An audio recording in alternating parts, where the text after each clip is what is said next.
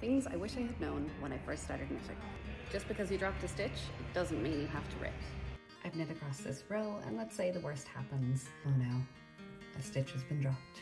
We can totally get this back on track in a couple of easy steps. Step one is to get one full stitch back up on something safe as quickly as you can. Something like a lockable stitch marker. Step two is to grab a crochet hook undo your locking stitch marker and you pop your crochet hook into that stitch from the front to the back. You're going to dip the crochet hook in behind that ladder, grab the strand and pull it through the loop that was on your crochet hook. All the way to the top.